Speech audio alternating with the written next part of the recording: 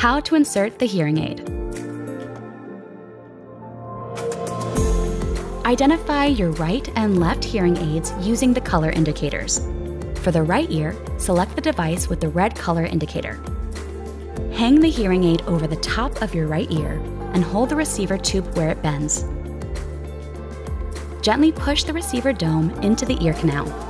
Ensure that the dome is far enough into the ear canal so the receiver wire rests against your head.